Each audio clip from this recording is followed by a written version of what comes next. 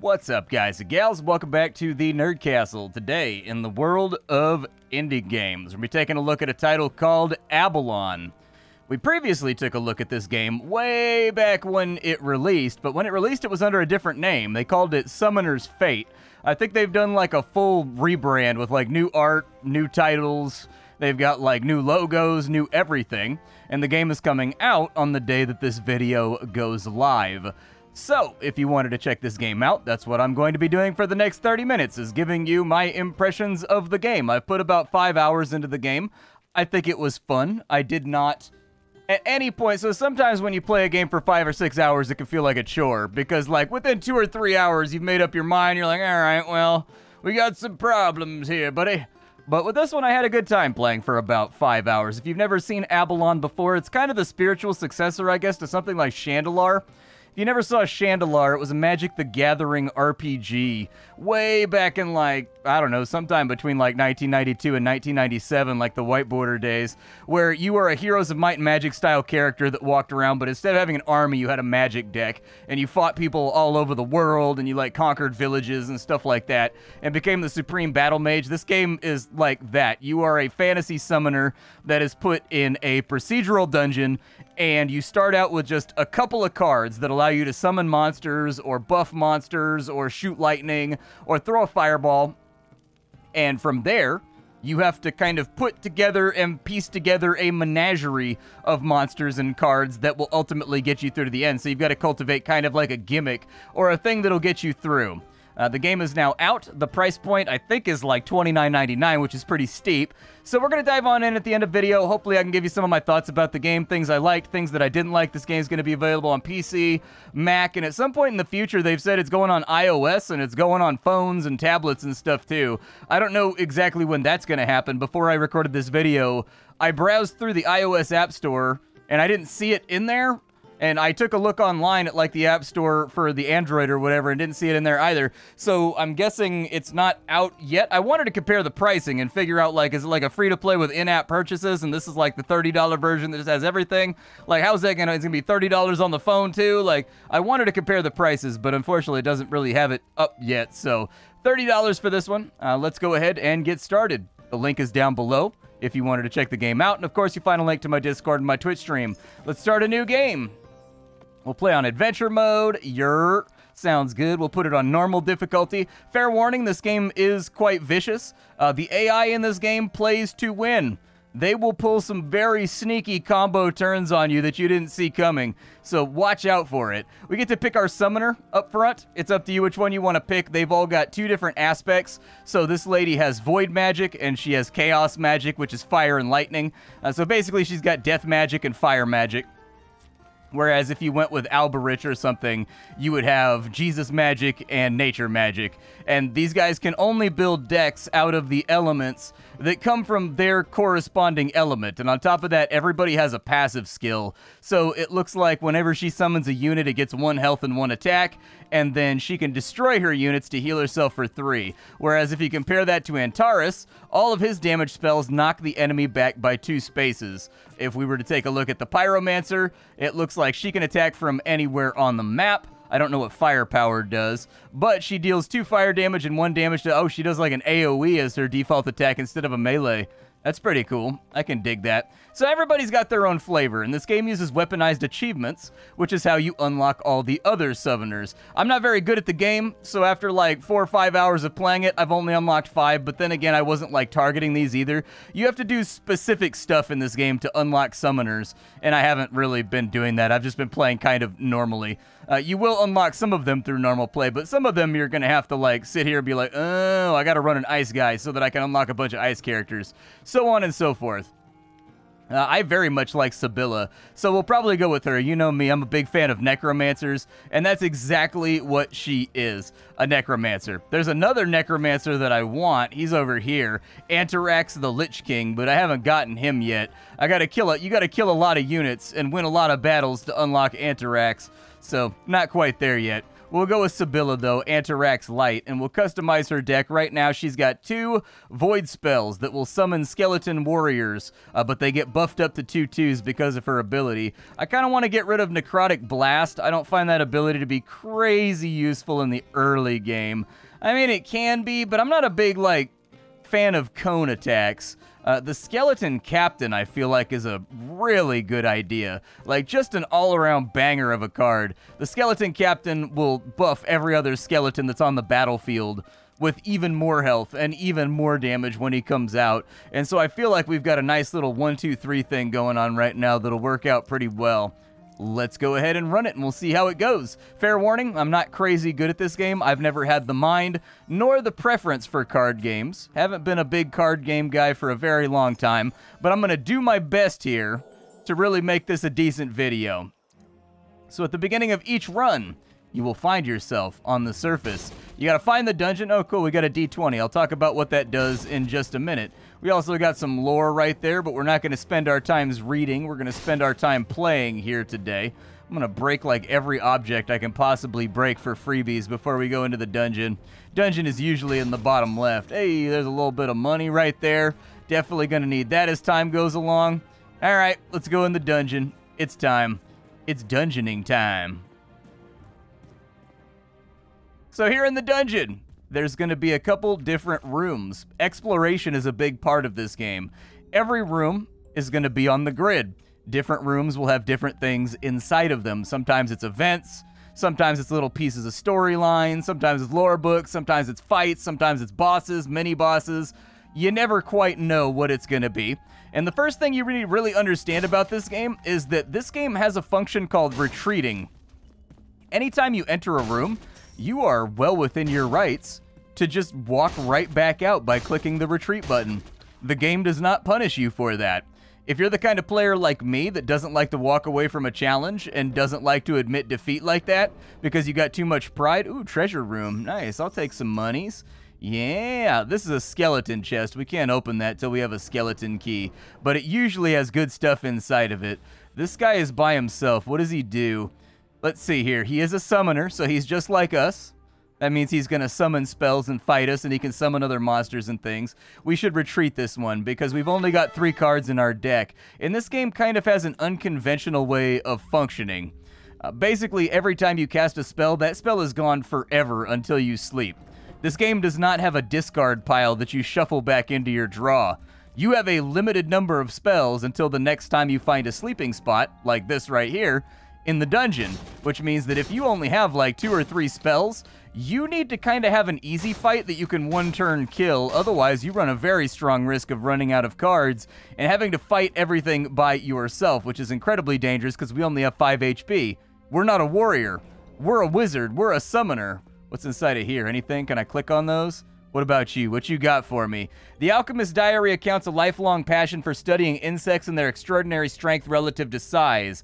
It seems this person struggled with a frequent ridicule for their own small size from bigger dungeon denizens. A half-finished vial of potion reads, At last, this will show them. Okay. Uh, so this guy right here, we will transform into a beetle, we will shrink, or we will grow. I don't really care about that much. Can I walk away? I don't even want to do this anymore. It's not, I thought I was going to get a permanent bonus. So this is what the D20s are for. If you don't like your odds, uh, you can go ahead and you can roll multiple dice, like so. I'm going to waste all my dice to show you what that looks like. Since we succeeded, we drink the potion, we get bigger. This game has lots of things like that. I'll talk about that a little bit later too. And for the next fight, we're actually kind of like a scary person. We can actually hurt people. This is a shop right here. We can buy bodyguards inside of here, or we can buy cards from Enkidu.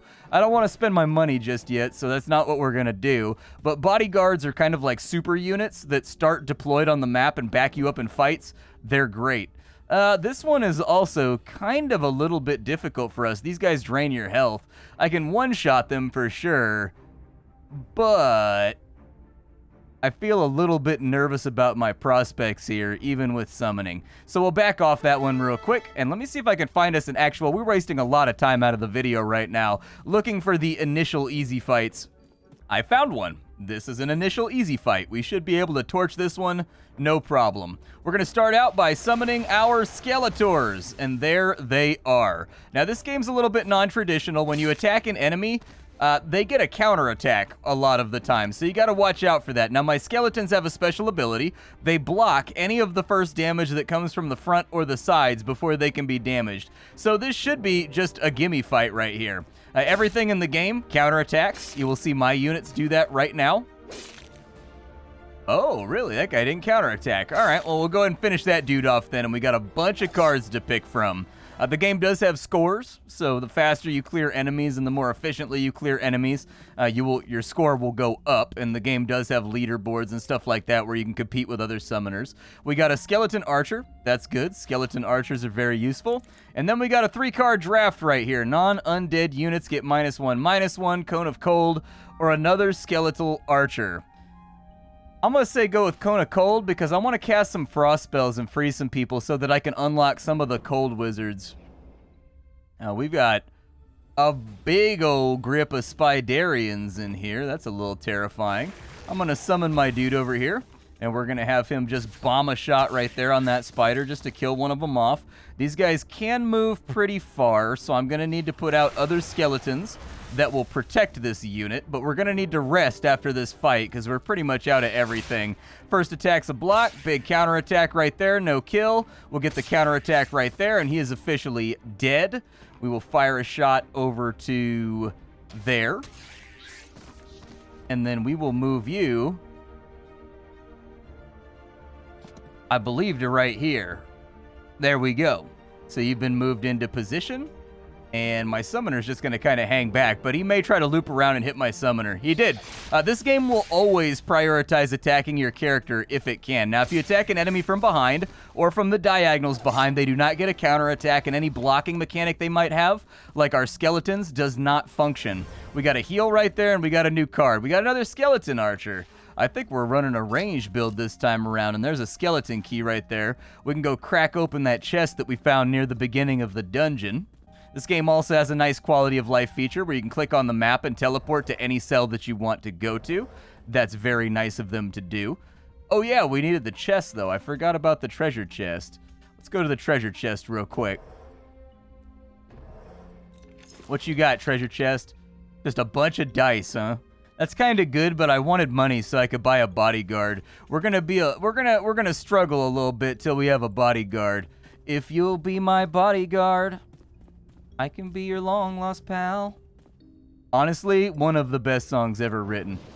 I don't think there is any time where I will not get hyped to just like, nah, nah, nah, nah, nah, nah, like the Paul Simon, man. Paul Simon, consistent. Consistent as hell.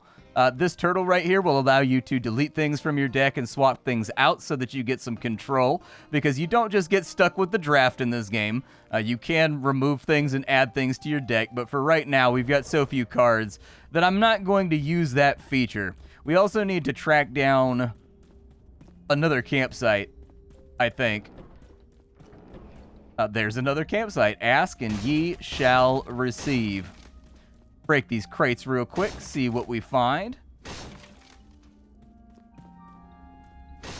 Okay. Nothing in here. Didn't get any bonuses or freebies. We got a big old feeder rat fight over here. This one's super easy. I'm going to torch all three of you with my opening salvo. You've all been frozen, and you are now all dead. Unfortunately, that was all my mana for the first turn, so we're going we're to get touched a little bit here. Oh, no, we're not. Never mind. I'm the champion of the world, and I never get touched by the enemy ever. I'm going to put down a skeleton archer. He's going to put down the blappers on that guy. We're going to go ahead and hit him right there. And that's another fight down. Let's keep developing this deck and seeing if we can figure out a gimp. I killed him in the first turn. How was my score? Oh, I think my score was over. Never mind. Look at it well enough. Skeleton Warrior, and he's free. Very nice. I like free. Free is good. Now we've got Drain Life which I think is a reference to World of Warcraft. Isn't that the, uh, that's very similar to the icon that Warlocks had back in vanilla World of Warcraft, isn't it? For Drain Life, I think they're reference, I think that's like a homage. I'm to guess that the developers might be World of Warcraft players of the past. Uh, let's see here. And then we've got a Skeleton Hound. Warcry. Gain 1-1 for every surrounding undead. Oh, I got plans. All right, we'll take him. I see it coming together now. What's in this room? More fighting. I will take more fighting. He can't get to me. Put down an archer right here.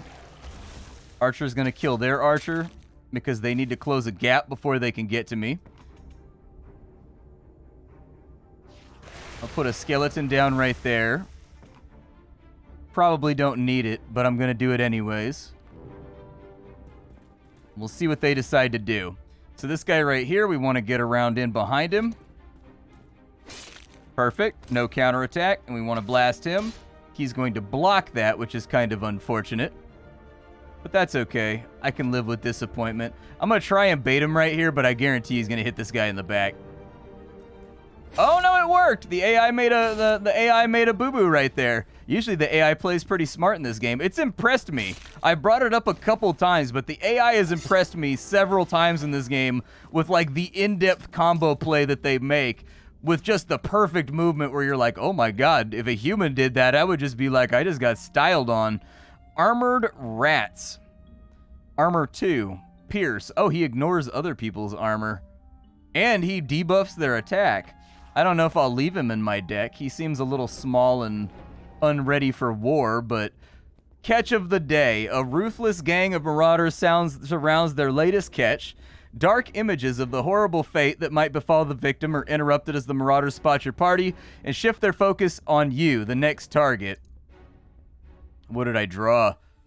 What I what I draw here will decide whether or not I feel like I need to retreat or not. And what I have left in my deck. I have a captain and a hound. This one's kind of like a maybe. We might be able to handle this. We might not be able to handle this. They've got us beaten in armor and health, and I'm not sure I have the depth of deck right now. The length. I don't know if my deck is long enough to, to get through that fight properly. This room's got a fight, though. Uh, a little bit more manageable. How far does he move? Not far enough, and there's no line of sight breaks here. So I'm going to get chewed on pretty good. Oh, they're all archers? I might be dead here. So troops in front of you don't block ranged attacks in this game. So I'm actually a little bit worried they're all just going to focus fire me on the opening turn. In fact, I feel very much as though that's what's going to happen.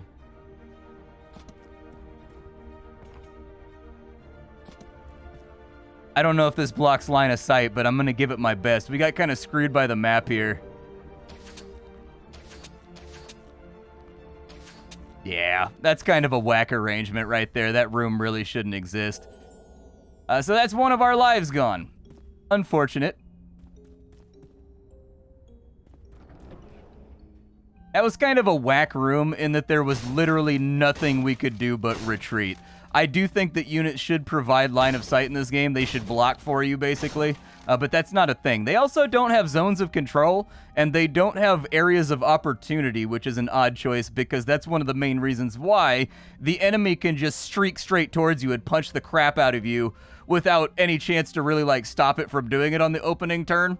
It's it's one of those things that has bothered me as I've played. Is it just one guy in here? I think it's just one guy. I guess I could summon a rat. I mean, I don't know. How far can he move?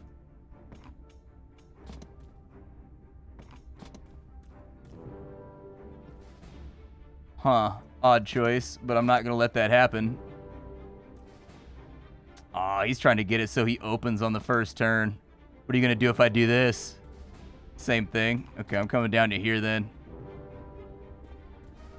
Wow, he wants me, dude. He wants me bad. He wants me something rotten. I got two armor on the rat, so we're good. That's okay. Rat's armor ate it. And then, he's now dead. Bye-bye. Good stuff. Took us a little bit longer to clear that fight than I would have liked. Necrotic Blast will probably help. Yeah, we could use a little bit more range right about now. I could use some more money, too. I still don't have a bodyguard. I like legit need a bodyguard. The sarcophagus is inscribed with symbols. The unsettling cacophony of scratching sounds can be heard from the inside. I'm gonna open it. I don't care. I got loads of dice. There we go. Give me that. Give me that 17 right there. Ice javelin. Very cool. That's one of our weaknesses is this we don't have enough range. Ooh, this guy's kind of a pain. I fought this guy before. So this guy drains health and he summons mobs and things like that too. This guy's going to be kind of a headache until we have bodyguards. I'm out. Oh, there was money over there too? Oh, I had no idea. Okay. Uh, you can't control your character with either WASD or with the mouse click. In combat, everything is like a click and drag. I kind of feel like that's not the greatest control scheme for the PC. Uh, it feels very much like the game was designed to play with your thumbs. I would have much preferred that you kind of like have a move button, you click that to move where you want to go, then you pick your facing, or you can attack afterwards. Like, I don't know, traditional turn based controls are better than, I don't know. I feel personally like the thumbs are the most morally debased of all the fingers. I can't prove this by any metric or any concrete information, but when I see a thumb, I think evil, and I've never been able to get that thought out of my head since I was a child. So this room gave us a little bit of cash. We need 25 more, though, before we're going to be able to do anything proper. Uh, this is a mercenaries den. We can hire these guys right here, and in fact, I would love to hire one of these guys right here. We have a fate encounter over here. We have an empty hallway there, unexplored there, key over there, so that's a summoner. I think it's in our best interest to just track down a little bit of cash here. Or a dragon. You know, a dragon. Cash. They're all somewhat similar to one another. I think I'm going to stand my ground on this one. So this guy's big and he moves a lot and he can fly. So protecting my summoner is going to be a little bit challenging. But I'm going to do my best here. Maybe we live through it, maybe we don't. I'm going to put you down. I'm going to put you down. They do have an archer, which is kind of a bummer, so I need to kind of break line of sight here somewhere. Next turn, we'll drop the skeleton captain, and that should buff everybody up to even higher levels. He's angling for me right now, I can tell already. So we'll drop a few more summons right there. And then we'll drop a skeleton captain back there. And that has given us some pretty good options here for scrumming with the enemy. Now, we don't really want to leave him a spot to land. We sort of want to bait him in the best that we can. But now that that archer's... Oh, that's a spike pit right there. I can't step on that. That would be a mistake. Let's move over to here. I'm going to scrunch in a little bit closer to the wall to protect myself. That guy can move to there. He can actually almost get to me, but we'll see what the AI decides to do. So first big soak right there. Looks good. He stepped on the flames, which is fantastic for us. That's really good because I actually think we can clinch a kill here. Maybe. Go ahead. Nope, not you. You advance. Give me a skeleton archer. Skeleton archer. We kind of got to decide on a good spot where we want our archer to be at. Like, I don't know, man. This big guy's a liability, but, like, I think we can drop him, dude. Uh, we'll freeze those guys right there. Move in. Smack him. Smack him. Good kill, good kill. That dragon's actually like a big threat, so I'm happy we killed that. Uh, you're on a spike pit. I need you over here. I may have actually broken out a few too many cards for that fight. Oh no, dude, you shot me in my sternum. Oh, that's right. I think he has to be stationary, right? Yeah, he can't move and shoot. That's what it was. That's what happened there. Okay, that was my fault. I forgot my I forgot my little creature's capabilities. That was on me. It's not the game's fault. Pick up that card real quick. Uh, the Touch of Death. Destroy an adjacent enemy minion. Okay. Kind of expensive. I don't know when I would run that.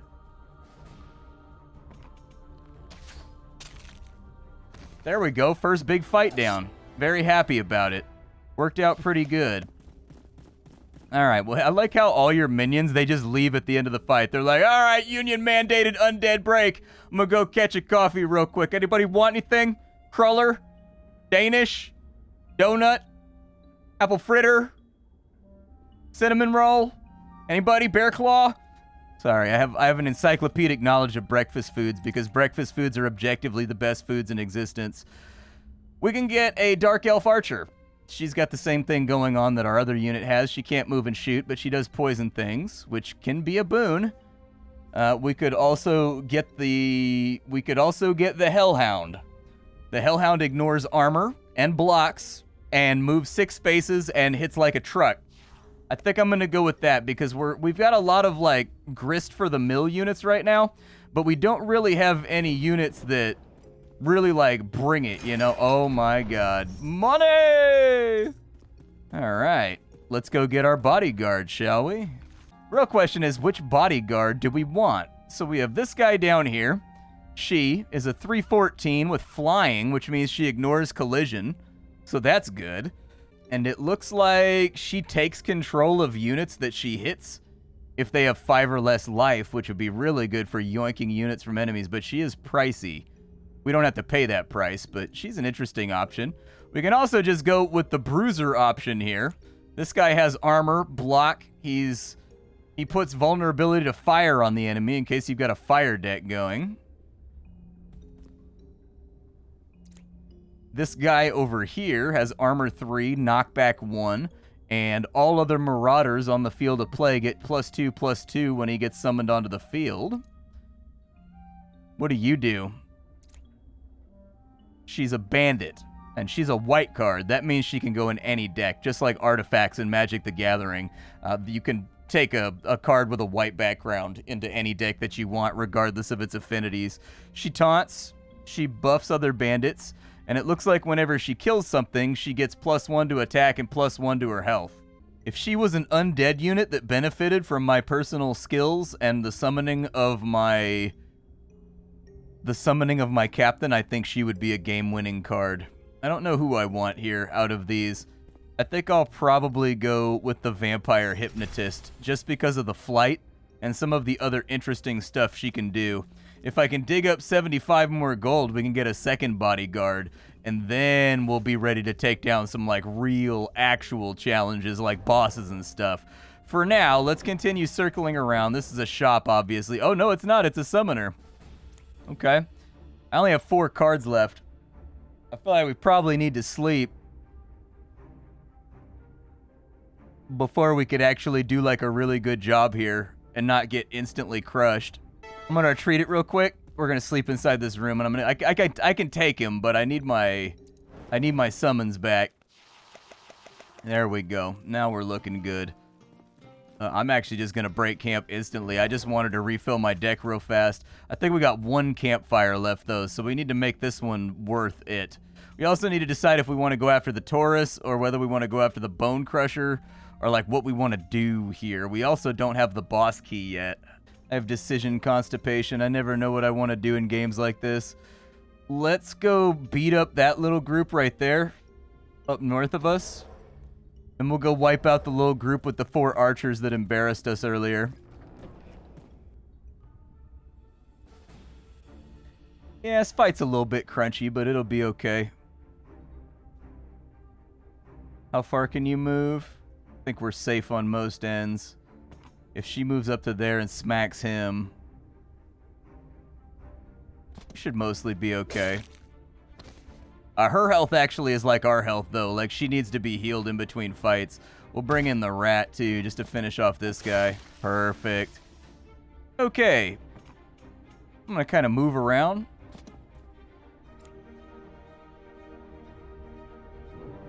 We'll see what these guys decide to do. Okay, he killed my rat, but my rat did get a counterattack, so that's good. I can move up here and smack this guy, but he's going to heal for more than I would hit him for because these guys have life drain. Realistically, the best option would be to ice javelin him so he doesn't get a retaliation.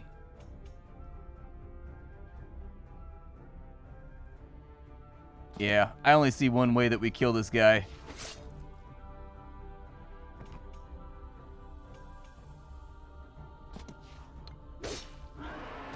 Good. All right, he's down. Can that guy... Oh, that guy can't even get to me either. Good. You love to see it. Other thing that I need to do is I can power steal you so that you life drain less. I would prefer to resolve this without using any more summons. But I don't know that it's necessarily going to be a winning prospect. Oh, she took control of him. Nice. I didn't know the ability would work on those guys. Good. You love to see it. Little flawless win. Dark Elf Witch right there. Good stuff. I'll take a Dark Elf Witch. Anything good inside? I need money, please. Not dice. Money. Money. Come on. There we go. Unfortunately, not enough. I want another bodyguard, but they're not giving it to me. They're being big, stupid, meanie faces, chat. Chat, take the game out back and, and make it cut a switch. All right?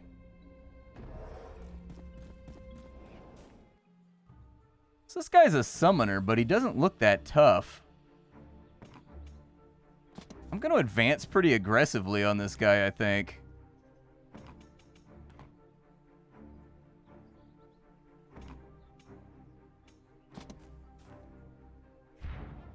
I will summon an archer.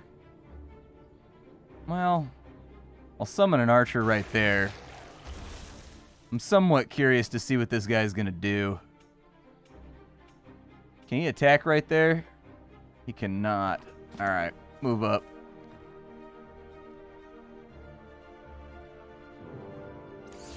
So he's going to do Shadow Bolt, 4 damage. Killed my archer. Not super unexpected. Skeleton Reaver up. Skeleton Reaver is going to get an attack to our back. All right. Fair enough. I don't really want to trap myself here. I'd prefer not to. You up to there. To right here. Summoned a witch. Which will zap him pretty good. No moves available. I don't have any undead on the field right now, so I can't do my dog combo like I want to. Not a bad opening. Oh, he touch of death my minion. Look at you over here being all good at your job. That'll put one behind me. I don't want that. I have five mana. Do I really? It may be time to build this super unit. Hold on. So we'll put you guys right there. You cruise out that way.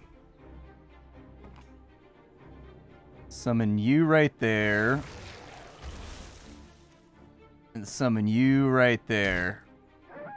Boom, baby. There it is.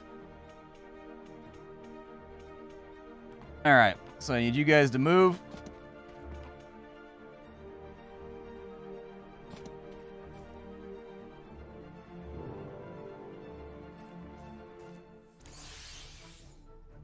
Okay, two damage.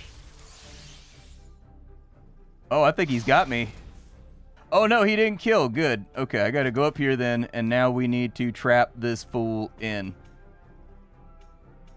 You go ahead and do the first initial attack. That'll break his shield. Shield be broken. Basically just trap this guy in is, is, all that I really want from you. I'm a little bit worried he's going to spam more spells at me on the next turn. That's a little bit of a horrifying possibility here. All he needs is a Shadow Bolt.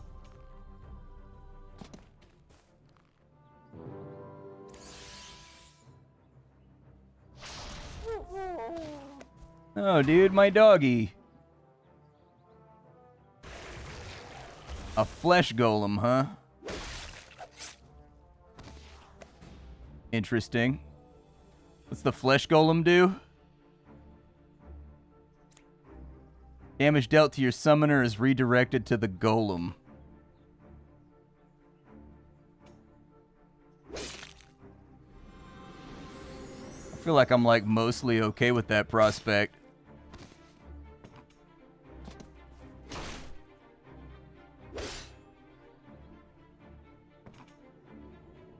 I can freeze him, but it's going to hurt my own guy. And the 2 damage doesn't really affect the conflict at all.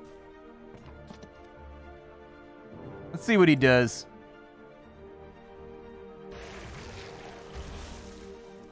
A diagonal skeleton captain. Oh, it's my skeleton captain now. Very nice. Uh, skeleton captain. Oh. Well, she tried, I mean.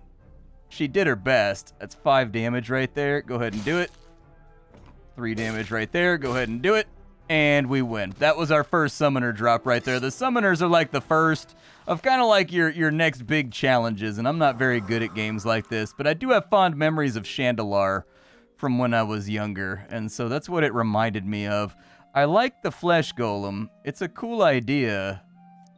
It's very expensive, though. Then again, it does kind of give you an insurance policy towards getting schwacked. There's our health back, unfortunately. It didn't res our dear friend. Oh, we need one more and I can have two bodyguards, dude. It didn't resurrect our bodyguard, which is kind of a bummer. I don't think I ever went south right here, but let's go take a little sneaky peek at what's south over here. Uh, looks like a shop. Yep, it's a shop where we can buy some more stuff.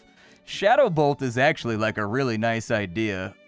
Being able to deal 4 damage outright and just like dunk on somebody from across the arena feels very attractive to me. And what was down in here? That was an elite fight. And that was the skeleton archer fight.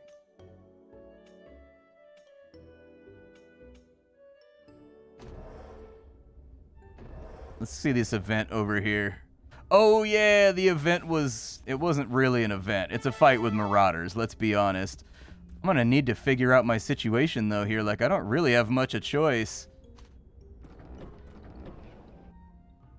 Yeah, it's another summoner over here too. I need to save my campsite so I kind of need to win this fight with just the seven cards that I have on hand. Well, I just gave up the win, so I had to use a campfire because there's no challenges left on the map that I can do with only four cards. I may have over-summoned uh, when I was fighting against... I still have... When I was fighting this guy, I may have over-summoned. And so I haven't quite gotten the... I haven't quite gotten the rhythm down in my time played of this game of like how much to summon versus under summoning versus over summoning. But now that I've got my deck back inside my control, I do think we have a very, very strong opening turn here. Unless this guy has an AoE, and then I just totally wasted my time. Uh, you guys pair off and go fight your partners. Everybody go do-si-do. -do. I'm going to advance about as much as I can here. Shadow Bolt is out. So one of my guys died. He heals. All right, one of his skeletons is down. He blasted him, which gave him another skeleton. Shield is down there, though. Okay. First things first.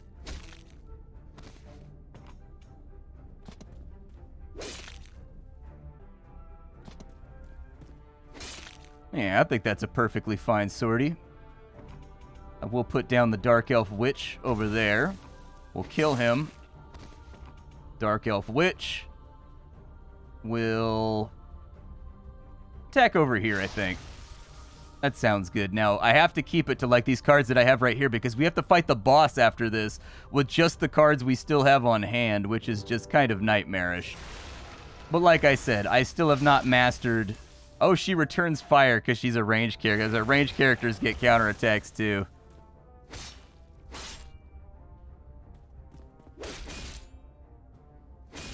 And they all want me. They want me bad.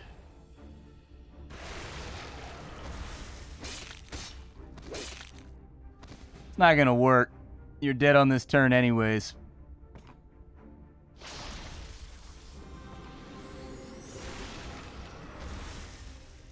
Kind of. Wonder what's to happen if I do that. Oh, he still takes the damage. Understood. Unfortunately, I got to use another card. I think this is this is definitely an L. Like we lose this map very badly. I just don't have enough cards, I think, to take on the boss. Well, did it give me back the ones that lived? I don't think it did. Yeah, it didn't give me back the ones that lived, so tough one. We got another replacement over here, though, which means I can get my flesh golem back at least. These crystals right here, as you beat rooms, you'll get these red and blue crystals. They will lower the final boss's HP and the amount of spells that he gets uh, per turn for each one that you have. So they tend to be really nice to have. Ideally, you want to strike a balance between your summons, how many of them you have, not burning through all of them, and your ability uh, to take down the... Oh my god, there's so many goodies in here. I get another bodyguard. I get another bodyguard. Let me get a bodyguard. Uh, rejuvenation vial. Oh my god, that just saved the run. Uh, there are also consumables in this game, and one cool feature about this game is that the graphics aren't too much to look at. But if I put a helmet from a consumable on any character in the game, they will then have a helmet on, even like rats and stuff. Uh, it'll say, but if you use a potion of giant growth on like a dog, it'll turn into a big giant werewolf. Like they actually went through and designed graphics in this game for not only equipping your characters with weapons, like she's got a sword right now. If I gave her a scythe that was inside my consumables, she would have a scythe in her hand. Like, if I gave her a helmet, she would have a helmet on. If I gave her armor, it would change her armor around. Like, the game's got lots of little details like that. And so I don't love the control scheme of this game. I, I definitely think like standard fare. I feel as though standard fare turn-based controls would have been better for the PC platform. Knowing that this game is planning on releasing onto mobile platforms, it makes sense why they went with the control scheme that they did, but I do think it's a suboptimal control scheme for the PC platform and a mouse and keyboard. Like I would have preferred just like the normal 2AP system for us. My problems with the game, uh, pretty much the fact that it's 30 bucks in all honesty. Uh, 30 bucks is very expensive for a title, especially when you're looking at the fact that like Slay the Spire is 25 and that's one of the verified goats of card games uh, on on the platform. You've also got Monster Train rocking around at 25, which is another verified goat of the platform. I'm sure there'll probably be some kind of release date discount. I don't know for sure, so don't quote me on it. But still, the price point is very high for this game. That being said, I've only had one crash to desktop while playing around with this current build. That was about it. There's a lot of variety here. There's a lot of events here. There's a ton of stuff to unlock. There's a ridiculous amount of cards, factions, interactivities, interesting things to do with your builds. So if you are a card game fan and you've got 30 bucks to burn, I think this is a very good selection. My name is Splattercat. I sift through the pile to find what's worthwhile in the world of indie games every single day so that you don't have to. This is Abalon. If it's outside your price range, I'd say just hang tight and wait for a sale uh, because it's still a pretty dope game. I will catch you all later. Thank you for swinging on through, and that's all I got. Bye, folks.